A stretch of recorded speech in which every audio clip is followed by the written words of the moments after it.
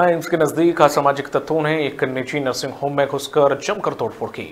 उपद्रवियों ने nursing home में आगे लगी एंबुलेंस के शीशे को तोड़ा और नर्सिंग होम में जमकर पथराव किया। इस दौरान एक डीएसपी अपने परिजन के साथ अस्पताल में अपनी माँ का शव लेने पहुँचे थे।